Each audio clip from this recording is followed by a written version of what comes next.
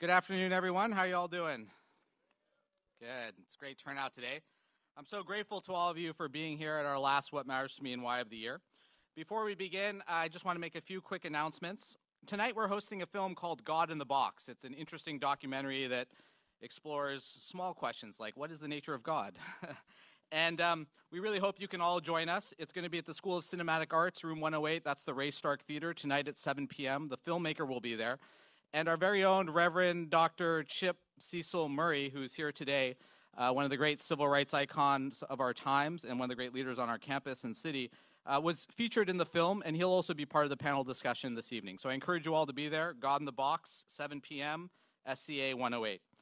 Also, um, it's not often that Hanukkah falls during the school year, the calendar, the, the academic calendar year, but this year it does. So uh, on Monday, this coming Monday, the 10th, at 4 p.m., we're going to be lighting the menorah at um, Tommy Trojan. It's uh, open to everyone. The provost will offer some remarks. The Trojan Marching Band will play some songs. Uh, you'll probably get some latkes. It'll be nice. So uh, Monday, 4 p.m., Tommy Trojan, menorah lighting. Uh, everyone's invited. And finally, um, we're going to do an alternative winter break trip this year. We haven't done that before, but we are aware that many students, including many international students, are on campus during our break. So December 20th to December 22nd, um, it's a three-day trip. Uh, we're going to be focusing on nature in Los Angeles. So we're going to go to different nature reserves and hikes and parks in LA. You can see hidden Los Angeles. Um, if you're interested, you'll be staying at the Radisson Hotel, um, and you should contact Rabbi Lori at Hillel. Her email address is rabbilori uh, at gmail.com, or the Office of Religious Life website has more information. So as you all know, this is um, uh, our, our, our, series, What Matters to Me and Why, is in our 12th year. And I think one of the reasons we've been so successful is because we really think deeply about how do we bring together the spiritual and the scholarly. How do we feature scholars and um, um, um, leaders on our campus who are thinking deeply about the big questions of meaning and purpose and identity and authenticity in their life? And uh, today we have a student who's an alum. He's uh, graduated in uh, 2011 who will introduce our very special speaker, Nicholas Warner. And I'm really honored to be able to introduce our student, who also brings together the spiritual and the scholarly very well in his life. Jake Block was a religion and music major, graduated in 2011 and he made this extraordinary film for his uh, honors thesis that had me in conversation with Nick Warner, and that's how I first met Nick. It's called Awe, the Science of Spirituality. I encourage you all to go check it out on YouTube. And uh, it's me and Nick in conversation with each other talking about the creation of the universe. I talk about it from a Hindu and Buddhist perspective. He talks about it from an astrophysics perspective. Plus, his accent gives him all sorts of IQ points that make him seem, you know, even more intelligent than me, and he already is so much more intelligent than me. So anyway, it's a great film, uh, Awe, the Science of Spirituality. After Jake graduated, he went on a trip to India, but not just any trip. He drove a motorcycle for six months from Ladakh, Leh, the northernmost tip of India, to uh, Kanyakumari, the southernmost tip of India, uh, with a video camera. So I look forward to the film that comes out of that. Um, so uh, please join me in welcoming our student, uh, our alum, to introduce Nick Warner, Jake Block.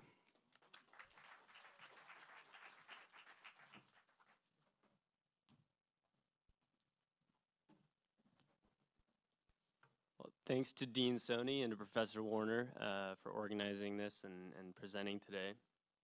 Um, the matter at hand has twofold meaning. Now, first, uh, Nick is going to give us a very stimulating discussion today. He never fails to engage his audience. And second, the matter at hand is indeed the air around us and the very stuff that our hands are made of uh, it's, it's the stuff of stardust. Now, I first, uh, we all have a cursory understanding of this concept that we're all made of stardust, but I first started to think deeply about it and understand it after I took Professor Warner's class during my sophomore year here at USC. Now, in his class, we, we journey through the universe from, from uh, end to beginning, backwards in time. We start here on Earth and we examine the celestial sphere and the constellations above us and then we push further back in time to distant galaxies and fertile nebulae and vacant black holes. And we go all the way back to the very beginning, uh, the beginning of time, the beginning of everything, the Big Bang. And when I finished his class, I came away thinking about two fundamental principles. Uh, on the one hand, that we are microcosmically deeply connected to space around us, that we have a deep sense of meaning and purpose here, that we're all stardust. And on the other hand, that we are very, very insignificant within the vastness of all space and time. And so, as uh, Dean Soni mentioned, I made a film about this that featured those two called Awe. And uh, what the film ultimately does, on one level, it talks about the parallel narratives between uh, Indian religious philosophy and science, but on another level, it examines um, the profound sense of meaning and purpose, awe that I get from reconciling two extremes. One is one is which uh, my insignificance in the universe and my place in the universe as a child of the stars, as somebody who shares DNA with the cosmos. And that's a very unique feeling uh, that I that I originally found in exploring the concepts that I learned in Professor Warner's class. And so, without further ado, I welcome Professor Nick Warner and uh, thank him for sharing with us today.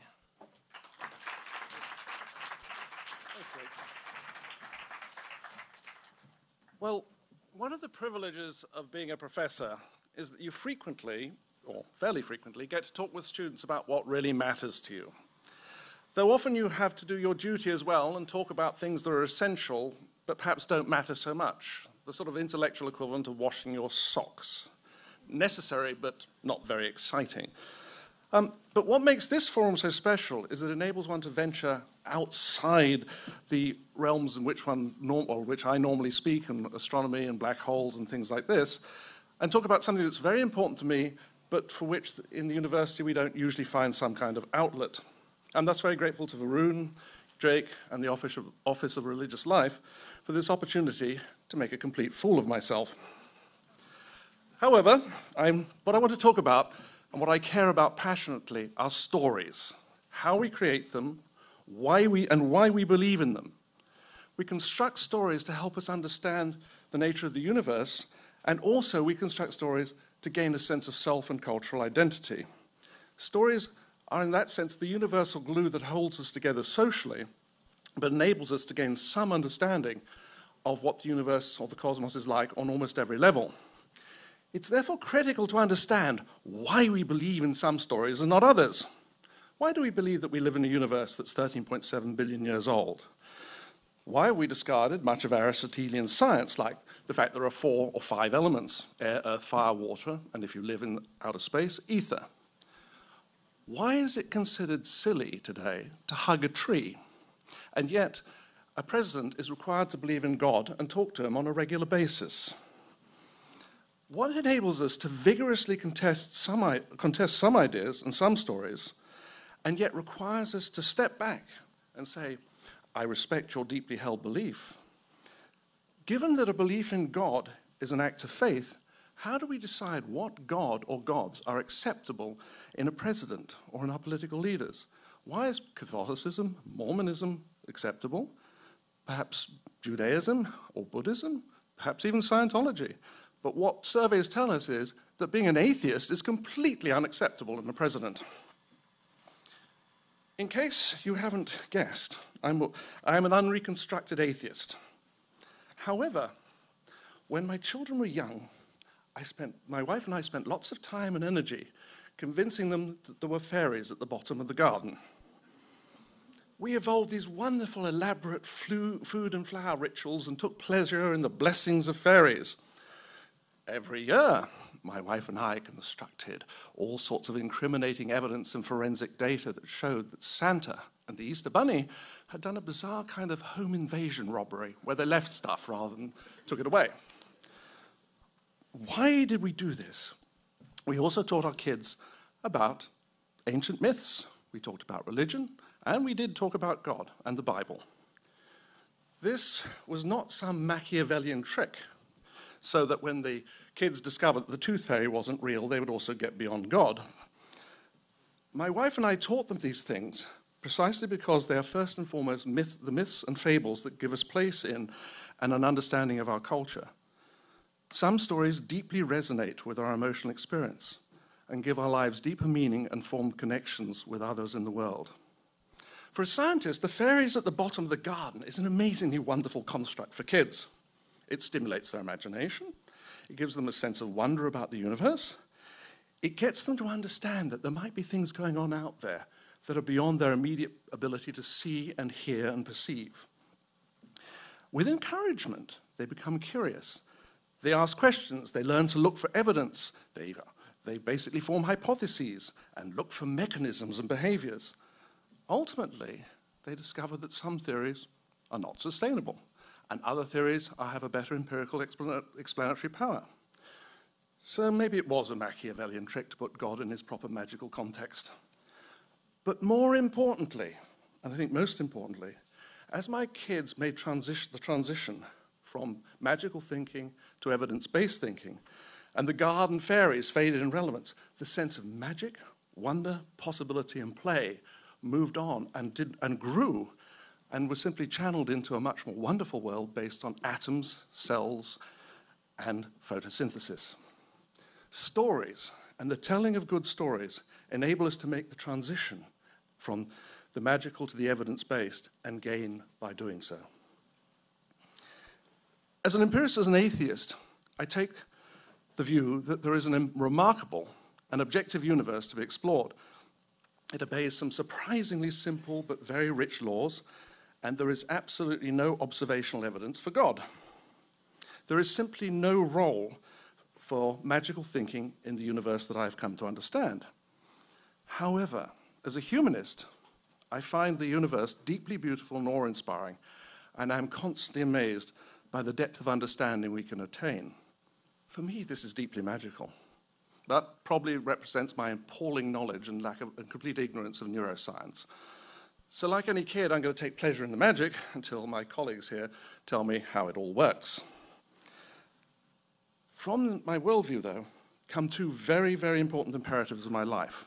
One should use evidence based analysis to understand what one can about the objective reality in the, in the universe, whether it be using physics or neuroscience or economics. The other imperative is that one should have a complete and full human experience of all that the universe can offer. To love, to have friends, to pursue, pursue dreams, to have ambitions, and laugh whenever possible. Stories are a crucial part of both enterprises.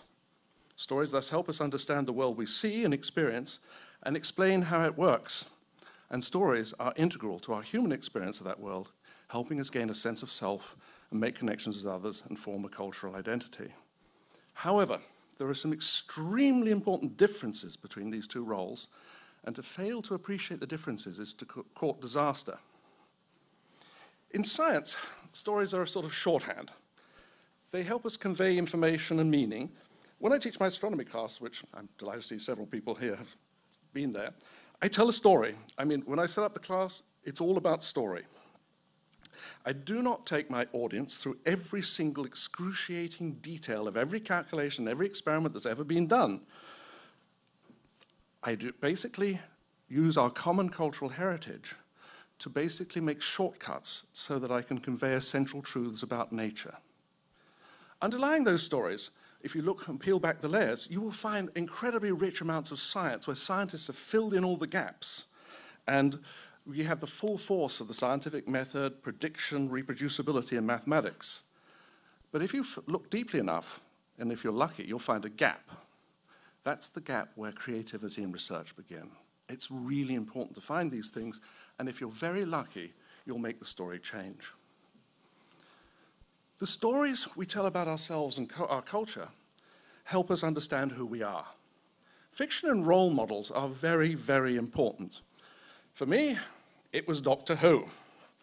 I wanted to be a Time Lord when I was eight and travel the universe in a TARDIS telling everybody what to do. I grew up I work with Stephen Hawking, and I work on the quantum structure of black holes. Not a far cry, but stories like that have immense power. Even now, they have power. Not long ago, I spent about three weeks doing an incredibly difficult collection of calculations to try and show that something, something was true, but I knew it was impossible. I knew that I couldn't do it, but I wanted to do it anyway. I wanted to make a stable supersymmetric wormhole and show that it could be an integral piece of the structure of the quantum black hole. Put in plain terms, I wanted to make a time machine. I failed, but I still hope. In fact, I cherish the whole ideal of Don Quixote, and like Lewis Carroll's White Queen, I firmly believe that everybody on a regular basis should try and do six impossible things before breakfast. Stories that give us identity and help us understand who we are are thus of tremendous personal importance.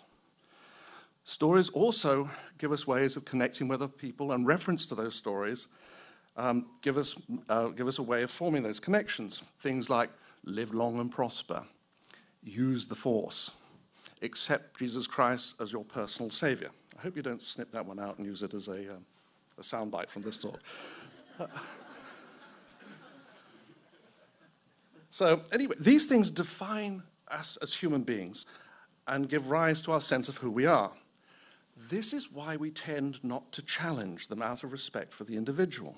To attack the story is to attack the person. The problem with such cultural stories is that they have many dark sides. They can be used to hide reality instead of reveal truth. Some of us come to believe that cultural stories must be universally applied and fail to realize when they cannot and should not. From such impulses come not only crusades, but the desire to impose democracy on other countries from outside.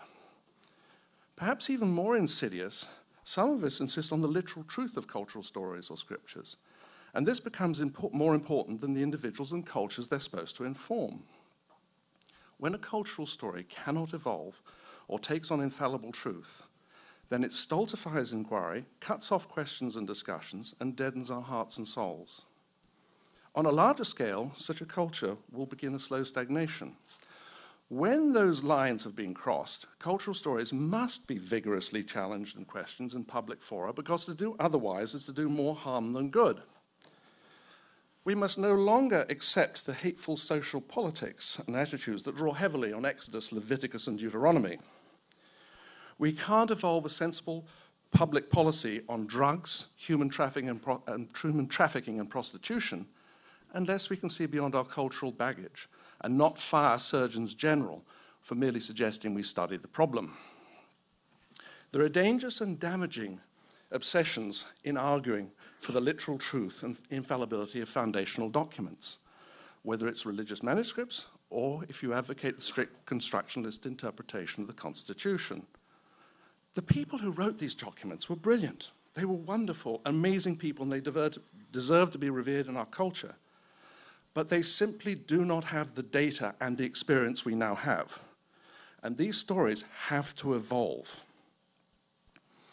The stories told by science are usually designed and constructed to be universal and reproducible anywhere in the universe. Astronomy is, in fact, or much mainly about testing precisely that hypothesis. What makes science so powerful is that the stories also sorry, stories are, are challenged on a daily basis by experiment, and the stories evolve based on the outcomes of those experiments. And only the very best stories actually survive. It is the business of science to determine the value and accuracy of theories. This is done according to how or whether those experiments, sorry, those, those theories are confirmed by experiment. Put in simple, basic terms, science tells us what we can, as a society, bet on a particular theory. And every day we bet our lives on theories of electromagnetism, aerodynamics, if you've ever flown, quantum mechanics, if you used any electronic device, general relativity, if you use the GPS system. There are many, many examples on which our society's existence is bet on theories. We also have fairly good evidence for the fact that there have been five major mass extinctions in the last 600 million years. We are now seeing the same evidence for the entry into the sixth mass extinction, and guess who's causing it? It's us. Part of this is climate change and global warming. What should we as a society bet on this? The science consensus view and the view of scientists is clear, yet the politicians still resist. On the other hand, going toward, back towards cultural stories, you can't take an evidence-based approach to a cultural story. To test the experimental reproducibility of Shakespeare or the Bible, and then correct it according to the result, is to entirely miss the point of the story. What hypothesis is being tested in Hamlet? The point is that such stories provide an invaluable lens for looking at the human experience of the universe. They are essential parts of our culture and they deeply resonate with our experience and emotions. But they do not represent universal, testable, highly re reproducible parts of natural laws governing everyone and everything in the objective universe. To ask that they do that is deeply misguided and completely misrepresents their true value and importance to humanity. Yet, to our continuing detriment, we continue to misapply and misunderstand the role of stories. Our cultural and humanistic stories continue to overwhelm evidence-based stories when they shouldn't. There are many ridiculous examples of this, believe me, I'm going to go into some of them, um, but they come from all parts of the political spectrum. Simply put, we indulge in magical thinking. We think in terms of stories when we should be using evidence-based stories, I should say cultural stories. Worse, we allow our leaders to go unchallenged when they engage in magical thinking. And we often do this out of respect for deeply held beliefs. If one, as a scientist, if I hear about the death of a friend's mother, my visceral response is sympathy and empathy and concern for my friend. I don't trot out a fact that puts it in context like, oh, 160,000 people die every day on the planet. On the other hand, it is also part of our common lexicon that when there's a natural disaster, a fair number of people look at it as an example of God's vengeance, and some people look at Middle Eastern foreign policy through the lens of the book of Revelations and the Second Coming. Given the season, my recent favorite was the uh, Halloween's public policy poll. It revealed that 48% of Republicans believe in climate change. That's good news. But 68% of the Republicans believe in the possibility of demonic possession. The problem of magical thinking goes much deeper. Daniel Patrick Moynihan once observed, and made the simple observation, that everyone is entitled to their own opinions, but not their own facts. It would seem that this is no longer true, particularly in politics. Ron Suskind wrote a piece in the New York Times eight years ago where he reports a conversation with a senior aide to President Bush. And I'm going to quote Ron Suskind here and his experience. The aide said that guys like me, Ron Suskind, were in what we call the reality-based community, which def he defined as people who believe that solutions emerge from your judicious study of discernible reality. I, Ron Suskind, nodded and murmured something about Enlightenment principles and empiricism. He cut me off. That's not the way the world really works anymore, he continued. We're an empire now, and when we act, we create our own reality. And while you're studying that reality, judiciously as you will, we'll act again, creating new realities, which you can study too. And that's how things will sort themselves out. We're history's actors, and you, all of you, will be left to just study what we do. In the last decade, this has got completely out of hand. The press seems to have given up all responsibility and even aid and abet in the process. The fourth estate should be leading the charge in the battle against magical thinking. Instead, they remain silent, presumably out of misguided respect for deeply held beliefs. As Lord Chief Justice Hewart once remarked, not only must justice be done, it must be seen to be done. So it must be with empiricism and rational thought. Empiricism and enlightenment must be seen to be done. At the height of the British monarchy, only the court jester could be forgiven for telling uncomfortable truth in the presence of power. Yet, in spite of our First Amendment rights, it seems that now only the late night court jesters are the ones who are showing us how deeply and damagingly delusional we have become. Stephen Colbert turned everything into a meme, turned the whole thing into a meme. Merriam-Webster's word of the year, number one word of the year in 2006 was, somebody here must know, truthiness, thank you, truthiness, which Merriam-Webster goes on and defines, using Colbert's first definition, truth that comes from the gut, not books. Or, or the second definition, two, the quality of preferring concepts or facts one wishes to be true rather than concepts or facts known to be true.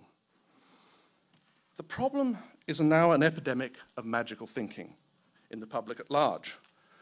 We want our cable TV, our bread and circuses, our social services, Medicare, roads, freedoms. We want a balanced budget, but we don't want to pay taxes.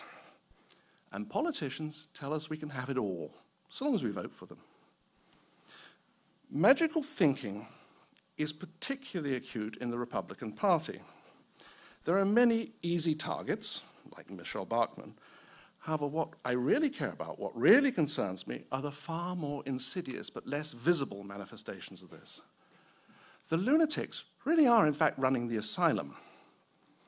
Start with the House Committee on Science, Space and Technology.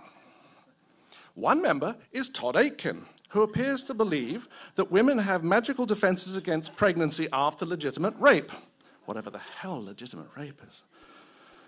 Paul Broun, another member of the committee, said, All that stuff I was taught about evolution and embryology and the Big Bang Theory, all of that is lies from the pit of hell. The chair of the committee, the current one, Ralph Hall, when asked about the effects of humans on climate change, responded, I don't think we can control what God controls. These are members of the House Committee on Space, Science and Technology. They're the guys who decide who how to fund research. Going to the Senate. Senator Marco Rubio, currently touted as a Republican presidential candidate in 2016, is in fact a member of the, the Science and Space Subcommittee of the US Senate. And just a couple of weeks ago, he was asked, How old do you think the Earth is? His answer, I'm quoting, at the end of the day, I think there are multiple theories out there of how the universe was created, and I think, it's in, think this country is a country where people should have the opportunity to teach them all. I think parents should be able to teach their kids what their faith says, what science says, whether it was, the earth was created in seven days or seven actual eras, I'm not sure We'll ever be able to know that. It's one of the great mysteries. It isn't a mystery. It's 4.54 billion years old. And the story of how we figured it out is a testament to the remarkable brilliance of humankind in understanding the universe. The modern story starts with astronomy and mathematics and physics, figuring out how the solar system formed in the first place. It then involved geology and the, the idea of land formation, how long it takes a landscape to erode. And that early geology in the 19th century indicated the Earth had to be hundreds of millions of years old. Then there was the other nemesis, Darwin. The whole subject was driven for a period by evolutionary biology and how long it would take for the genomes of various animals that we now see to evolve.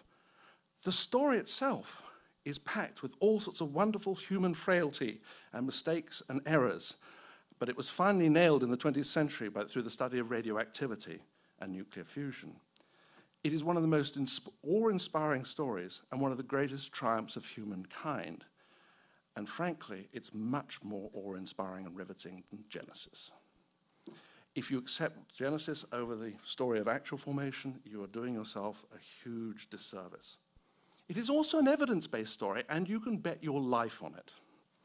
Not that I can think of many contexts of how you might do that, but okay.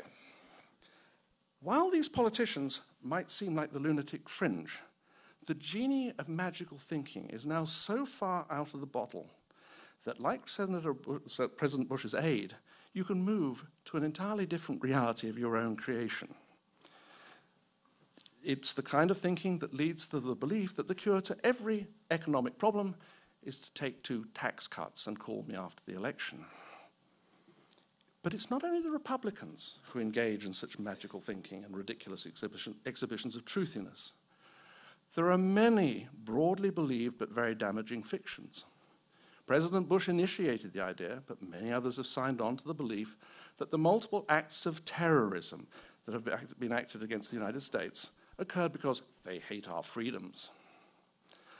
Most of the, our leaders, including President Obama, tell us we have the best healthcare system in the world. We're actually 37th, according to the World Health Organization, wedged between Costa Rica and Slovenia. We rank, of course, well below most of Europe, and even significantly below Morocco and Colombia.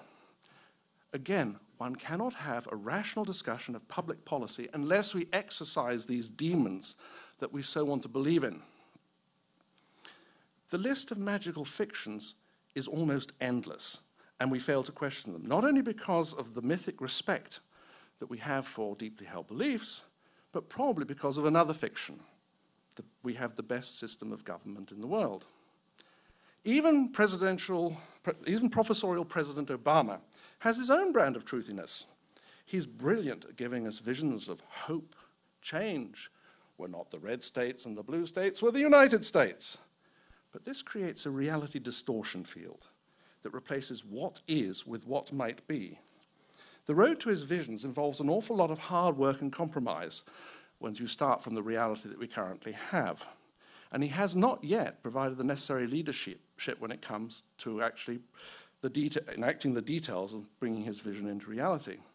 When a politician has visions but does not exhibit the essential interest in the pragmatic details of making it actually happen, then this is just simply another form of magical thinking. In spite of this, I think the present tragedy is that the party of Lincoln and Teddy Roosevelt has been brought low by magical thinking. I really do want, contrary to what you might think, a strong and functional Republican Party. One of the most important elements of democracy that often gets lost and grew up in the parliamentary system is the concept of the loyal opposition. Any idiot like Mitch McConnell can try and block every piece of legislation so that President Obama becomes a one term president. But the key emphasis should be on loyal. The whole point of a loyal opposition is that it should make, the minority party should make constructive, responsible ideas and changes bounded by the loyalty to the fundamental interests and principles of the nation. Vigorous and credible opposition improves legislation and makes the country better. Magical thinking is ruining the Republicans, and in so doing, it is compromising our democracy. If anything is unpatriotic, it's magical thinking. So, what is, the what is it that the Republicans have failed to understand that children learn as their thinking evolves from the magical to the evidence based? I want to come back to the fairies at the bottom of the garden. The importance of the fiction that my wife and I created for our daughters was that every idea was open ended. The stories encouraged questions and opened hearts and minds to new possibilities and suggested deeper investigations. The stories enriched and inspired and helped them grow. Cultural stories are an important part of who we are, and we must honor them. But governing our lives requires we understand the difference between evidence based stories about the objective universe we inhabit and cultural based stories are a lens for observing that universe. A sense of a cultural identity is very important, but one must learn to discard cultural stories when, they have, when their relevance has become, they become irrelevant or have become truly a truly damaging obsession that prevents any form of loyal and credible opposition. As a society, we have to become sophisticated consumers and users of stories we must understand the limits of the validity and reliability, and whether it's based on evidence or not. We must not settle for nostrums and comfortable fictions of cultural history. We must challenge the stories we're told. Terrorists attack us for a lot of complicated reasons, but some of them have to do with our foreign policy. And we simply do not have the best healthcare system in the world. It is a mess. The problem with stories that all the politicians tell us is their truthiness, the triumph of wish fulfillment and self deception over evidence. What makes it worse is that they are the worst kind of stories they tell us.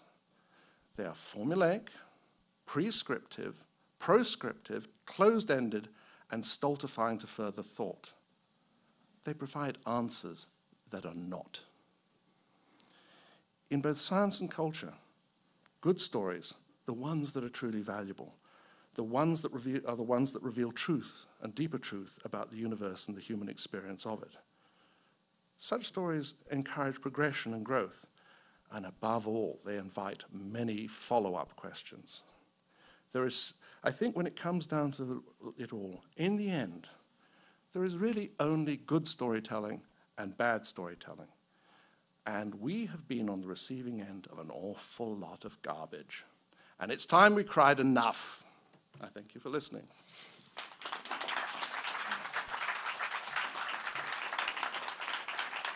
We, we have about uh, 10 minutes for questions. I'm, I'm supposed to act as ringmaster. Any questions? Thank you for the, Thank you for the talk. Um, would you like to share any tips for students of science and practicing scientists on how to prioritize between doing science and being seen to be doing science? Because we have a social responsibility also to popularize and to fight the epidemic of magical thinking out there. But the, there's another priority of focusing on a methodological training and doing research as it should be. Mm-hmm. So how do we avoid being torn between these two and have them mutually reinforce each other? It's a really, really hard balance to strike. I mean, you know, frankly, what I, what I just want to be doing is working with my students calculating stuff about black holes. But I was offered an opportunity like this, and I jumped at it because I get to say things. I occasionally blog. When something really hits me and I'm offered opportunity to talk about it, I just go out there and do it. You know, blogging, you know, you might have an audience of three, but, but still, just going out and saying things in public, talking to people, you know, it, it, I teach general education, because I love to tell the story of what we've achieved, but also I realize that that's the last time I'm going to talk, get to talk to people about science. So any opportunity you've got for a captive audience of non-scientists, you get to talk to them, seize it with both hands and do the best damn job you can. That's, uh, and uh, the balance is hard. And some of us work primarily in research and occasionally make forays like this. And there are people like Brian Greene who are out there, and Clifford Johnson to some extent, out there really pushing the, the public knowledge of science. But, you know, it's, I find that the, the wall one is up against sometimes is, is so difficult because there are just so many people out there who are pushing the other direction. Question here. Thank you for a great talk. I just want to have I just have one question. Do you think us as us as a human race will get rid of the epidemic of magical thinking once and for all? Whew, a very complicated question. Um, I sus- how to put it? Magical thinking in its own context is. I, I, I, love it. I mean, you know, I, there are the story of our cultural stories define who we are. They're very, very important. But when that magical thinking moves into another sphere, that's when it becomes dangerous. So I hope that the magical thinking just gets reined back into its proper context, which is your personal identity and your personal experience of the universe. I think we probably have some genetic inbuilt structure that requires that wants us to make this kind of, you know, cultural story to explain who we are. But I do hope that we can learn what the appropriate sphere for that activity is and not let it influence um, our, the, the, the, things that are appropriate to evidence-based thinking. And I, am I'm, I'm optimistic that we can do that. It's just I've seen in the last decade we've been going very much in the opposite direction. But also, I, I really think what's happening to the Republican Party is an absolute tragedy because it's been hijacked by a bunch of magical thinkers. And, you know, I, I used to have a, I, I'm a firm Democrat, but I, had have a friend in England who used to say the difference between an old conservative and a new conservative is at least the old conservatives knew when they were doing wrong. And I think going back to the old conservative model is certainly better than the current version. So the reason why I'm saying what I'm saying today is precisely because I see it's become an aberration which is very, very unhealthy. The, you know, 50 years ago, you know, it was almost too much the other way. Technology was perfect and wonderful, and you should install it, spray DDT, and do all sorts of other things without thinking about it. Ricky. I'm sure you do. Ricky was in my astronomy class, probably the most vocal member of any class I ever had. well, I, am I'm, I'm really interested in this idea of magical thinking. And national tragedy or national or natural disasters, and how scientific thought or scientific explanations aren't nearly as satisfying when people are suffering, right? As you know, um, you know, faith-based kind of uh, reconciliations or, or or cultural rituals. How do you or where's science's place in kind of trying to trying to explain those tragedies to the people who, who suffer from them? I think when you first meet somebody who's suffering from a tragedy, the first response is empathy and sympathy. It, it really has to be. I mean, you want to connect to that person because they've just suffered some horrible thing. You, of course, you want to use your science to make sure that horrible thing doesn't happen again or happens minimized in the future. And the discussion of the scientific context something comes later.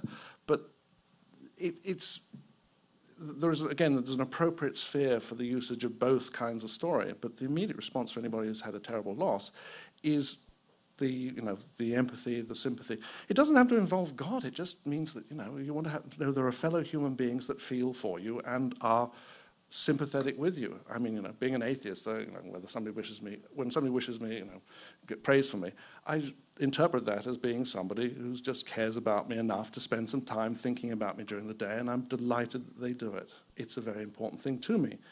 I interpret through my own cultural lens, but then the whole point is after the disaster settled, after you've helped the human beings get over the trauma, you have to get the science out and you have to fix the problem with evidence based methods.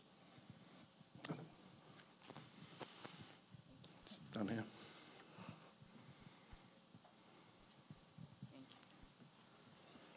oh boy, a written one. Yeah. No, no, go for it, please. Okay, so my question is um, I had heard that, uh, you know, President Obama was talking about how scientists are on the decline in the United States, that the population of young people who want to become scientists is declining. Mm-hmm. So my question to you is, as an educator, um, do you feel that this is a result of magical thinking, or this is what causes magical thinking? I, I th- okay, so there are two things I need to separate off. One of which is we're talking about people at the sort of higher end who are going to become scientists or engineers or work in STEM related careers. Magical thinking, they're way beyond that. The magical thinking really, I think, comes from the society that aren't scientists, that the people who've had perhaps a very bad high school education in science, they've had very poor exposure, they may use the textbooks that are severely compromised in their content. And so, really, it, the, the whole epidemic of magical thinking starts with the education of young people and not giving them formulaic answers to difficult, complex questions, giving them open-ended answers so that they follow inquiry. That's the really, that's the really important starting point. So that's the magical. Th- now, to be honest, magical thinking in politicians, we get the politicians we deserve, and so they are responding to focus groups. They're responding to the people they think who want to hear this. And so if the problem has to be addressed at the most fundamental educational levels, it's not the decline of scientists. Those guys are already, you know, they're, they're not magical thinking, most of them anyway. Um, it's really the education of young people, kids. You know, don't tell them formulaic things about why flowers grow. Start telling them all sorts of wonderful stories and then make those stories more sophisticated, but always make those stories open ended and encourage thought and follow up questions. And it's really the, at that end of things we have to work much harder. So, you know, Teach for America, all these things where you go out and do it. But also on the political level, fighting for the contents of textbooks. One of the reasons, that, you know, more personal story, you know, I always was something of an agnostic atheist, but what made me come out firmly and stand up and be counted as an atheist was Dover Area Board of Education, Kitzmiller versus Dover Area Board of Education. It was the intelligent design debate in the Dover Area School District. And finally, I thought, okay, the line's been crossed. Damn it, I'm going to start making life miserable for other people on that. And at some point, there are major geopolitical fights that have to be, had to be had. And I have to say one thing about the Dover Area um, decision. Um, Judge Johnny Jones was a George W. Bush appointee. So, you know, there were some good people appointed by George Bush. And he, of course, destroyed any possibility of intelligent design in the Dover Area School District. We've got about two minutes. Hi. Uh, as the Voyager spacecraft nears the end of our, uh, sort of the edge of our bubble, yep. um, what facts and stories do you think it might reveal to us? Oh, it's still, it's just crossing outside the magnetic sphere of, our, of, of the solar system. I mean, I find it just wonderful that we've sent a piece of technology that far out, and it's still working. It's still sending us signals. Um, as regards what it'll tell us, I don't think it's going to tell us an awful lot more. It's going to send back a little bit of data. I may have to eat humble pie on that at some point, but uh, its instruments are barely functioning, it's still in contact with us. It'll tell us a little bit about how the magnetic field changes as we cross out of the... Sol- the solar system is dominated by the sun's magnetic field. And then there's the magnetic field of the galaxy, and there's a transition between the two of them. And we'll get our first measurement of the orientation, the behaviors of that magnetic field. Kind of cool stuff, but I just find the whole thing just you know, I was asked to do a, a, piece recently on the guy who jumped out of this balloon at, uh, yeah. And uh, there's a YouTube video of me talking about it. And for me, the science wasn't the important thing. It was the fact that there's a guy standing above the Earth at goodness knows how many miles off and flinging himself out of the spacecraft and doing that thing. It's inspiring. And I think that's the role for Voyager. It's just an inspiring piece of stuff. Richard, did you have a... yeah. One a quick one. Uh, I just wanted to say that, uh, first of all, thank you so much for your talk. I thought it was provocative and I thought it was dead on and interesting in so many ways. I just wanted to ask the, the appeal, the reason why magical thinking gets moved out of the arenas in which it's most productive into the arenas where it becomes counterproductive is because it's per so persuasive. It talks about what we're afraid of and it talks about what we wish were true. So, against that, how does reason compete with those two really compelling reasons to believe the things we're afraid of and the things we most desire. How does reason stand up to those in the, in the arena of public opinion? I actually had an experience of this when I was at Barnes & Noble a few months back. Um, I was looking at the science bookshelves, and there was about three columns. And then there were three columns of preteen vampire romance. I have a photograph. I'll probably blog about it at some point. But, but yes, there's this morass of stuff coming at us and coming at our kids. To be honest, I, I think we just try and be the best teachers we can. But, you know, I have no objection to people. In fact, I love people to read wonderful, inspiring fiction, the Doctor Who thing. But the point is to find the balance in our lives between the objective universe we're trying to understand and our human experience of it. And there has to be some pushing back against the current just morass of stuff coming at us. Magical explanations are easy and they can be put into sound bites. Real science can't. We just look at the IPCC report on climate change.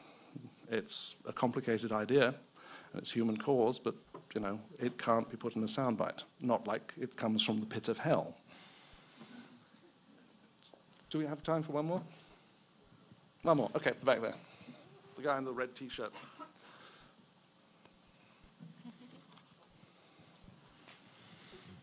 Um, do you think that what you call magical thinking could ever be an acceptable substitute for things beyond the limit of human knowledge? Okay. Sort of like a band aid over the unknown? I'm an empiricist, so the only answer I can give you to that is that in, th the, the, in some sense, I look at nature and look at stuff that presents and I build models. I try and figure out what's going on. I try and figure out mechanisms. If it doesn't present itself as a phenomenon to me, it doesn't exist. And so things that are beyond the unknown or beyond the known operationally don't exist for me. So that's my answer as a scientist. I mean, I, I, of course, my answer as a humanist is I would like to imagine all sorts of wonderful things and all sorts of incredible things, but then the genie really is out of the bottle. And you know, it might be in five minutes. God will pluck me out of this auditorium and say, Well, you did pretty well with that model. Would you like to try the more complex one? And put me back into a new universe. I mean, so once you allow beyond issues of beyond the realm of what we know, I have to really answer as a scientist and empiricist and say, it doesn't exist. I can't measure it. I can't see it. I can't do anything with it. Therefore, for the moment, it doesn't exist. It might bite me in the ass later, but you know. So, sorry. I think we probably better cut it off. I think Varun's giving me the wind up. Thank you.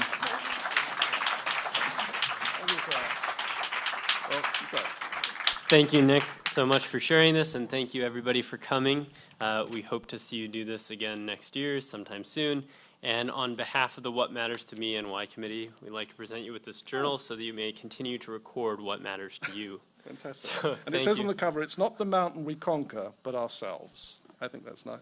Thank you very much.